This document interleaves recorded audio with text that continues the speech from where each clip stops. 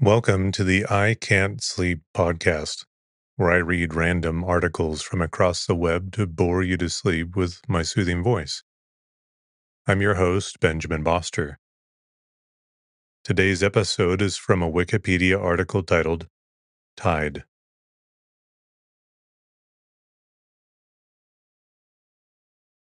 Tides are the rise and fall of sea levels caused by the combined effects of gravitational forces exerted by the moon, and to a much lesser extent the sun, and are also caused by the Earth and moon orbiting one another.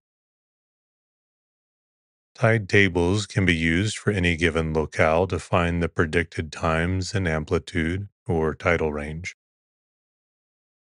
The predictions are influenced by many factors, including the alignment of the sun and moon, the phase and amplitude of the tide, pattern of tides in the deep ocean, the amphidromic systems of the oceans, and the shape of the coastline and nearshore bathymetry.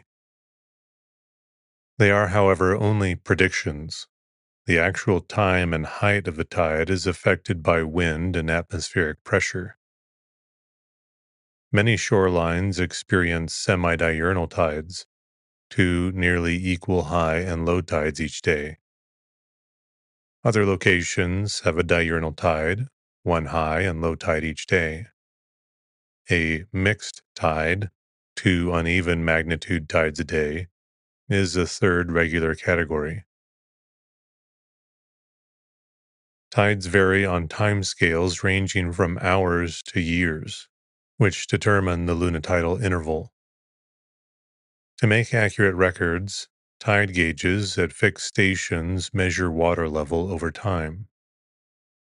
Gauges ignore variations caused by waves with periods shorter than minutes.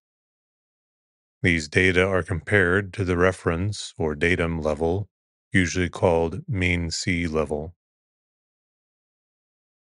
While tides are usually the largest source of short term sea level fluctuations, sea levels are also subject to change from thermal expansion, wind, and barometric pressure changes, resulting in storm surges, especially in shallow seas and near coasts. Tidal phenomena are not limited to the oceans but can occur in other systems whenever a gravitational field that varies in time and space is present. For example, the shape of the solid part of the Earth is affected slightly by Earth tide, though this is not as easily seen as the water tidal movements. Four stages in the tidal cycle are named the water stops falling, reaching a local minimum called low tide. Sea level rises over several hours, covering the intertidal zone, flood tide. The water stops rising, reaching a local maximum called high tide. Sea level falls over several hours, revealing the intertidal zone, ebb tide. Oscillating currents produced by tides are known as tidal streams or tidal currents. The moment that the tidal current ceases is called slack water or slack tide. The tide then reverses direction and is said to be turning. Slack water usually occurs near high water and low water, but there are locations where the moments of slack tide differ significantly from those of high and low water. Tides are commonly semi-diurnal, two high waters and two low waters each day, or diurnal, one tidal cycle per day. The two high waters on a given day are typically not the same height, the daily inequality. These are the higher high water and the lower high water and tide tables. Similarly, the two low waters each day are the higher low water and the lower low water. The daily inequality is not consistent and is generally small when the moon is over the equator. The following reference tide levels can be defined from the highest level to the lowest. Highest astronomical tide, HAT. The highest tide which can be predicted to occur. Note that meteorological conditions may add extra height to the HAT. Mean High Water Springs, MHWS. The average of the two high tides on the days of spring tides. Mean High Water Neaps, MHWN. The average of the two high tides on the days of neap tides. Mean Sea Level, MSL. This is the average sea level. The MSL is constant for any location over a long period. Mean Low Water Neaps, MLWN, the average of the two low tides on the days of neap tides. Mean Low Water Springs, MLWS, the average of the two low tides on the days of spring tides. Lowest astronomical tide, LAT, the lowest tide which can be predicted to occur. Tidal constituents are the net result of multiple influences impacting tidal changes over certain periods of time. Primary constituents include the Earth's rotation, the position of the Moon and Sun relative to the Earth, the Moon's altitude, elevation above the Earth's equator, and bathymetry. Variations with periods of less than half a day are called harmonic constituents. Conversely, cycles of days, months, or years are referred to as long period constituents. Tidal forces affect the entire Earth, but the movement of solid Earth occurs by mere centimeters. In contrast, the atmosphere is much more fluid and compressible, so its surface moves by kilometers in the sense of the contour level of a particular low pressure in the outer atmosphere. In most locations, the largest constituent is the principal lunar semidiurnal, also known as the M2 tidal constituent. Its period is about 12 hours and 25.2 minutes, exactly half a tidal lunar day which is the average time separating one lunar zenith from the next, and thus is the time required for the Earth to rotate once relative to the Moon. Simple tide clocks track this constituent. The lunar day is longer than the Earth day because the Moon orbits in the same direction the Earth spins. This is analogous to the minute hand on a watch crossing the hour hand at 12 and then again at about 105 and a half, not at 1. The moon orbits the Earth in the same direction as the Earth rotates on its axis, so it takes slightly more than a day, about 24 hours and 50 minutes, for the moon to return to the same location in the sky. During this time, it has passed overhead, culmination, once and underfoot once, at an hour angle of 0 and 12, respectively. So, in many places, the period of strongest tidal forcing is the above mentioned about 12 hours and 25 minutes. The moment of highest tide is not necessarily when the moon is nearest to zenith or nadir, but the period of the forcing still determines the time between high tides. Because the gravitational field created by the moon weakens with distance from the moon, it exerts a slightly stronger than average force on the side of the Earth facing the moon, and a slightly weaker force on the opposite side. The moon thus tends to stretch the Earth slightly along the line connecting the two bodies. The solid Earth deforms a bit, but ocean water, being fluid, is free to move much more in response to the tidal force, particularly horizontally. As the Earth rotates, the magnitude and direction of the tidal force at any particular point on the Earth's surface change constantly. Although the ocean never reaches equilibrium, there is never time for the fluid to catch up to the state it would eventually reach if the tidal force were constant. A changing tidal force nonetheless causes rhythmic changes in sea surface height. When there are two high tides each day with different heights, and two low tides also of different heights, the pattern is called a mixed semi-diurnal tide. The semi-diurnal range, the difference in height between high and low waters over about a half a day, varies in a two week cycle. Approximately twice a month around new moon and full moon, when the sun, moon, and earth form a line, the tidal force due to the sun reinforces that due to the moon. The tide's range is then at its maximum this is called the spring tide. It is not named after the season, but like that word derives from the meaning jump, burst forth, rise, as in a natural spring. Spring tides are sometimes referred to as syzygy tides. When the moon is at first quarter or third quarter, the sun and moon are separated by 90 degrees when viewed from the earth and the solar tidal force partially cancels the moon's tidal force. At these points in the lunar cycle, the tide's range is at its minimum. This is called the neap tide or neaps. Neap is an Anglo Saxon word meaning without the power, or forthgonius neap, forth going without the power. Neap tides are sometimes referred to as quadrature tides.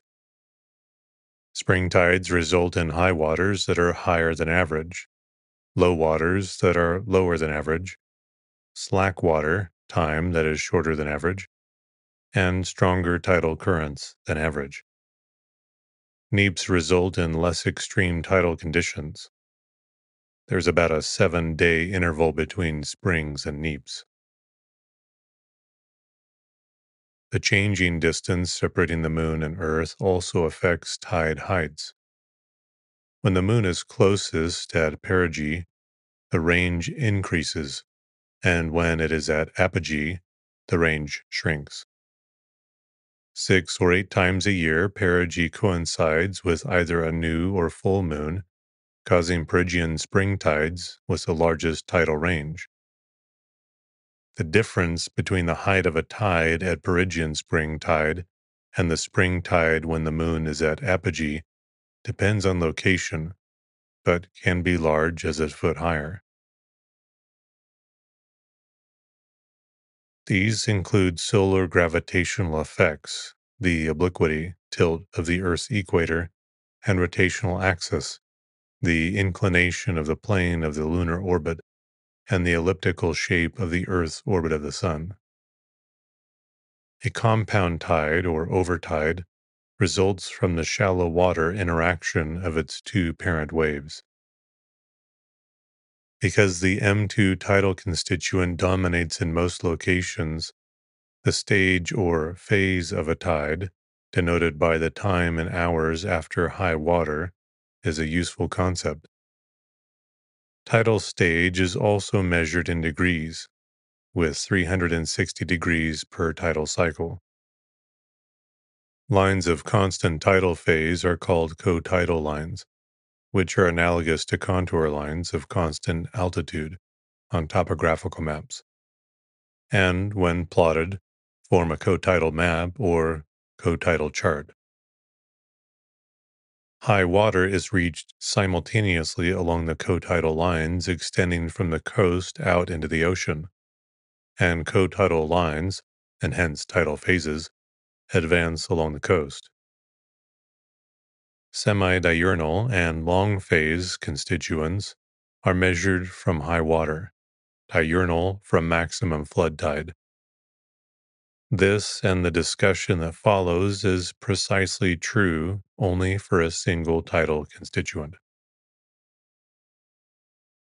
For an ocean in the shape of a circular basin enclosed by a coastline, The cotidal lines point radially inward and must eventually meet at a common point, the amphidromic point. The amphidromic point is at once cotidal with high and low waters, which is satisfied by zero tidal motion. The rare exception occurs when the tide encircles an island, as it does around New Zealand, Iceland, and Madagascar. Tidal motion generally lessens moving away from continental coasts, so that crossing the cotidal lines are contours of constant amplitude, half the distance between high and low water, which decrease to zero at the amphidromic point. For a semi-diurnal tide, the amphidromic point can be thought of roughly like the center of a clock face with the hour hand pointing in the direction of the high water cotidal line, which is directly opposite the low water cotidal line. High water rotates about the amphidromic point once every 12 hours in the direction of rising cotidal lines and away from ebbing cotidal lines. This rotation, caused by the Coriolis effect, is generally clockwise in the southern hemisphere and counterclockwise in the northern hemisphere. The difference of cotidal phase from the phase of a reference tide is the epoch. The reference tide is the hypothetical constituent equilibrium tide on a landless Earth measured at zero degrees longitude, the Greenwich meridian. in the North Atlantic because the co tidal lines circulate counterclockwise around the amphidromic point. The high tide passes New York Harbor approximately an hour ahead of Norfolk Harbor. South of Cape Hatteras, the tidal forces are more complex and cannot be predicted reliably based on the North Atlantic co-tidal lines. Investigation into tidal physics was important in the early development of celestial mechanics, with the existence of two daily tides being explained by the moon's gravity.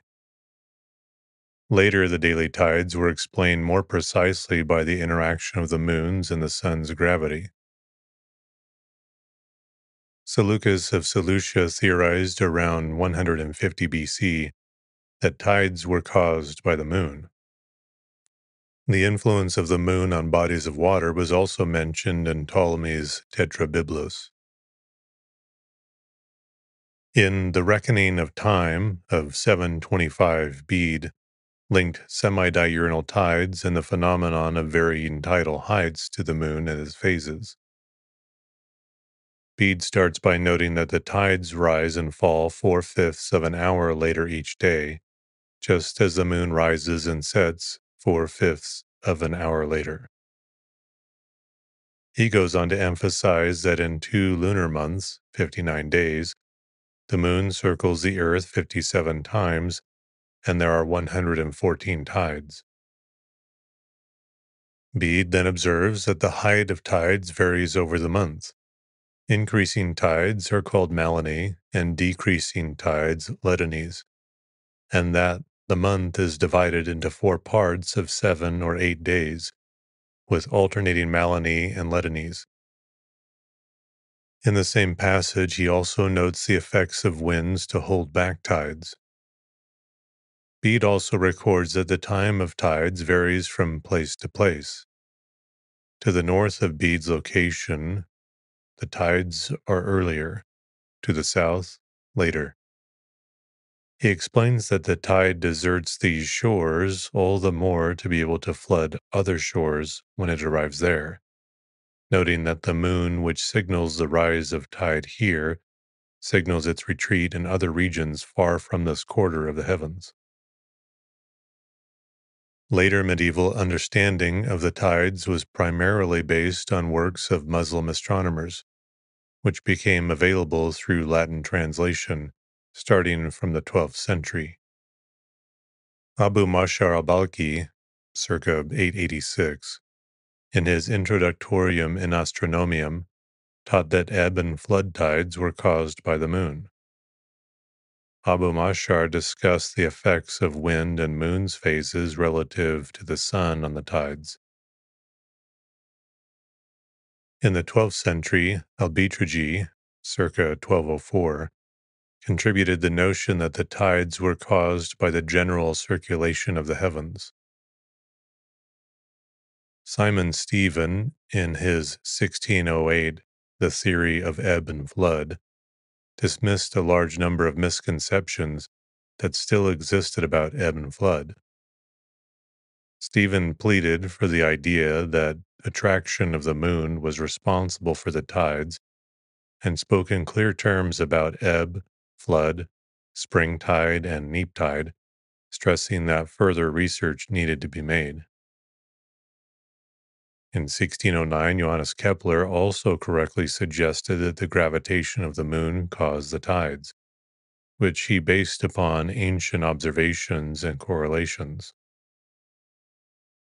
Galileo Galilei, in his 1632 dialogue concerning the two chief world systems, whose working title was Dialogue on the Tides, gave an explanation of the tides. The resulting theory, however, was incorrect as he attributed the tides to the sloshing of water caused by the Earth's movement around the Sun. He hoped to provide mechanical proof of the Earth's movement. The value of his tidal theory is disputed. Galileo rejected Kepler's explanation of the tides. Isaac Newton was the first person to explain tides as the product of the gravitational attraction of astronomical masses.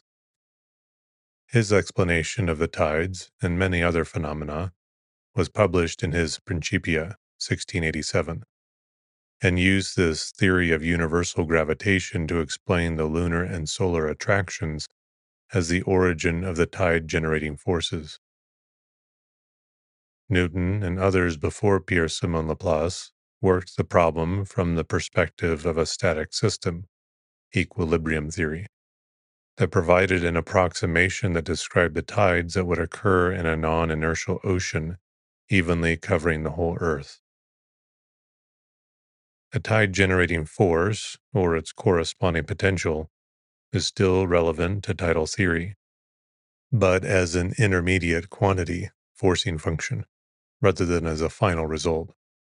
Theory must also consider the Earth's accumulated dynamic tidal response to the applied forces, which response is influenced by ocean depth, the Earth's rotation, and other factors.